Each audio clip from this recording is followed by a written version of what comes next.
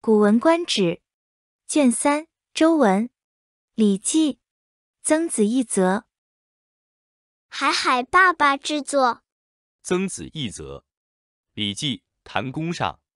曾子寝疾病，乐正子春坐于床下，曾元、曾参坐于足，童子于坐而执烛。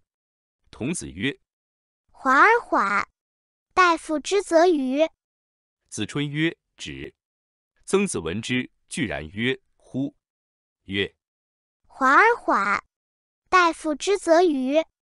曾子曰：“然。”斯季孙之次也，我谓之能易也。元起一则。